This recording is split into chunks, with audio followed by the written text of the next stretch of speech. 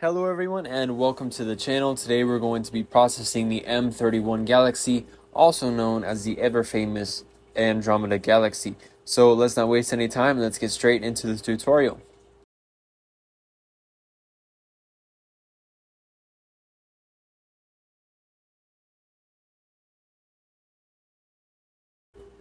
So the first thing that we're going to want to do is we're going to go to our home button and we are going to set our M31 Galaxy as our home directory. If you do not, it will not process the correct files and you'll end up with an entirely different deep sky object. So go ahead and click M31 and press open.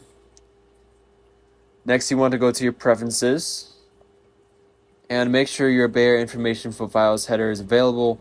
Uh, make sure that it's checked so that if perhaps uh, you don't have the correct Bayer mosaic pattern set, it will automatically convert to the correct one based on the data of your image. So uh, make sure you have that selected. Uh, for your image processing, you're going to go to star processing and make sure you have StarNet star removal uh, installed on your Siril program. If you don't know how to install that, you can make sure you go and check out the uh, video I have on the channel on installing StarNet into Siril. Uh, one more thing in scripts, for OSC preprocessing with Drizzle, that means you need to be able to have your darks, bias, flats uh, files all available for you to stack together. And what this Drizzle will do is it will basically break apart the pixels for you to get more detail in your image. But you can only use that if you have your darks, dot, sorry, darks, bias, and flats files. Now, your OSC preprocessing without dark, that means that you can use your bias and flats and not use any darks files while stacking with your lights. OSC preprocessing without darks, bias, and flats means you don't need darks, bias, and flats. You can just stack your lights files. OSC preprocessing without flats means that you can uh, stack it without any, uh, see, without, sorry, you can stack your darks, but you cannot use any flats or biases with this script. Uh, again, with these scripts, if you do not have them installed, you can check out how to install that in the Siril installation program uh, sorry, a video that I also have on the channel, so make sure you check that out if you don't have that ready. If you do have everything ready, uh, I'm going to be using Dwarf 2 data, and where I'm only going to be using lights files, so we're going to see how good this comes out. Now go to your scripts, and we're going to run the OSC preprocessing without darks, bias, or flats, because, again, I only have uh, lights files, so go ahead and click that, and we'll come back to when it is complete. Okay, as you can see, the uh, stacking is now complete. Uh, so the first thing we're going to do is we're going to go to this open button here. We're going to click on result.fit and we're going to hit open. And you should see this kind of image. You can see the core of the galaxy right there. Uh, but in order for us to be able to see the rest, we're going to go to here. We're going to click auto stretch. And to get rid of this green color, we're going to press the link image. Now we're going to go to image processing and start processing our image. One thing I did notice before is that it does have quite a few streaks here uh, in the image that we're going to want to try our best to get rid of, but this was probably caused by the fact that uh, the data that was taken was actually taken around very close to a street lamp. So it is possible that there was some glare on the lenses there, but we can do our best to get rid of that. Uh, so go to image processing. We're going to go to background extraction and we're going to bump up the samples here and we're going to hit generate. Now as you can see that actually landed on some parts of the galaxy here so we're going to reduce some of the grid tolerance and hit generate again. Again that was not quite enough so we're going to reduce it some more to 1. Generate again and as you can see it reduced it a whole whole lot. So that should be just about enough, but I did notice it's still eh, on the little bit of this elliptical galaxy. So in order to get rid of these selections, just go ahead and right click. Just like this. Right click, right click, right click. And this should be good. So we're going to click compute background. As you can see, it evened everything out perfectly. We're to hit apply. Next, we're going to go to image processing, remove green noise, and hit apply. We're going to hit close there. And now we're going to save this because we don't want to lose our progress so far. We're going to go to image processing again, color calibration, photometric color calibration, and for here, image parameters, we're going to type in M31, and we're going to hit find. As you see, it's all right there. Uh, for the focal length, you're gonna do get metadata from image. If it does not work automatically, you just go ahead and type in the focal length for your telescope and the pixel size in regards to your uh, camera sensor. Uh, for the Dwarf 2, it has a re resolution of 5.973, and we're just gonna click this to get the coordinates there. We're gonna unclick down down sample, and we're gonna hit OK. As you can see, it rotated the image. The uh, photometric color calibration is complete. It's exceeded. However, I did notice sometimes if it does not work, all you have to do is just crop your image a little bit, uh, run through it again. If that doesn't work, just go ahead and press the down sample button and leave that on. Apply it again, then it should work. Uh, but most of the time, it should work just the way that we did it. Uh, now we're going to go and we're going to save this now that it is calibrated. And we are going to crop our image just a bit because we do not want these outside artifacts inside of our image. So let's just go ahead and crop it just like that. And we're going to hit crop and we're going to hit save. Next, we're going to go to image processing again. And we're going to go to our star processing now. We're going to do a StarNet star removal and pre-stretch the linear image. We're going to switch this to linear. And we're going to hit execute. Okay, as you can see, it is now done. We're going to go to auto stretch here. And there is our starless image. So let's go ahead and try to process this now. Go back to linear. We're going to go to image processing and we're going to go to generalized hyperbolic stretch transformations. Let's bump this up to 100. Hit enter. And just click on the middle here.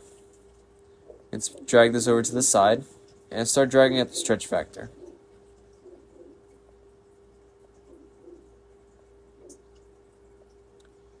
just like that. We're going to drag it up a little bit more. As you can see, it's kind of a lot, so we're going to kind of lower the darkness here. So we're going to hit apply. We're going to go up here and go to linear stretch, black point, and we're going to drag up the black point to get that black background back in.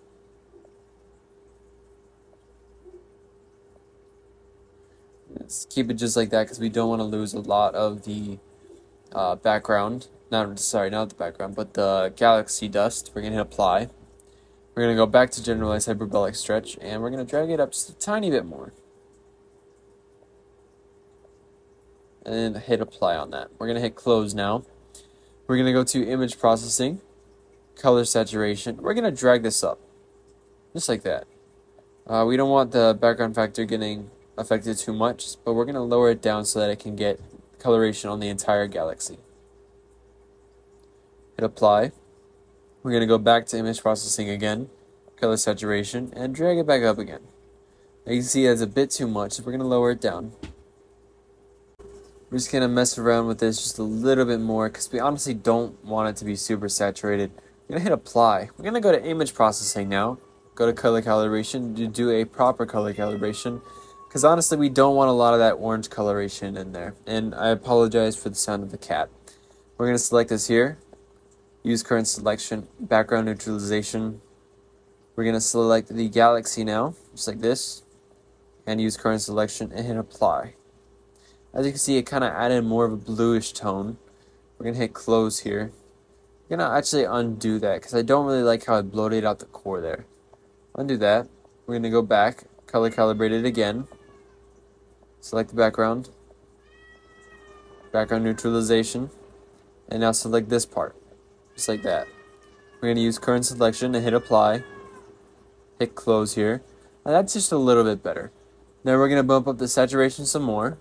Color saturation, drag this up. Again, that was too much. We don't like all that hot pixels there. It's honestly just a lot of trial and error. We're going to hit apply here.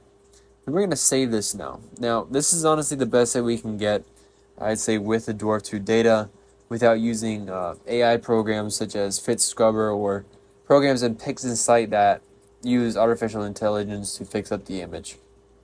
Um, we're going to go to image processing again. We're going to go to our star processing, and we're now going to add the stars back in here. So go to star recomposition. We're going to click here, add our starless result.fit file, and add our StarMask result.fit file. We're going to drag up these stars here.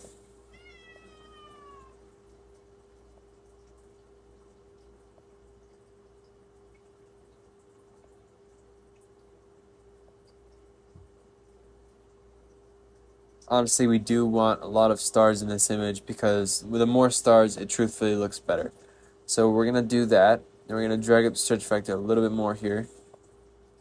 It's way too much. Drag up the black point some. It's again too much.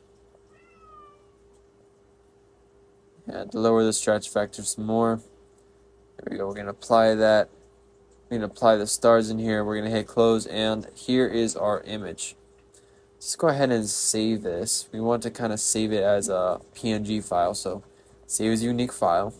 Okay, so here is our finalized image. As you can see, it came out quite nice.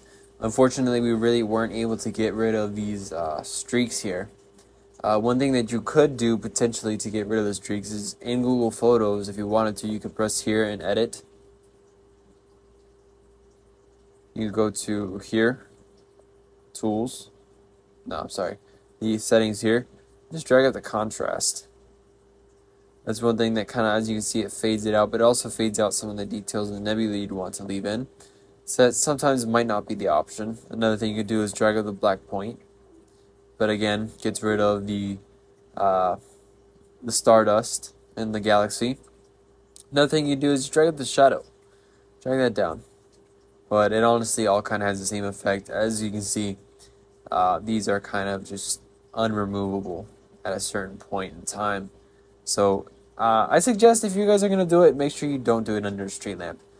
But hopefully following this tutorial, we're able to get much better results than what I got uh, hopefully, I can get some better data soon. And if you have a better telescope than what I have uh, that was able to take this picture, I'm sure your photos came out amazing. So, uh, again, thank you very much for watching. Please leave a like and subscribe, and stay tuned for the next video, which is actually going to be a tutorial basically explaining and running through the astro function of the Dwarf 2. So make sure you stay tuned for that.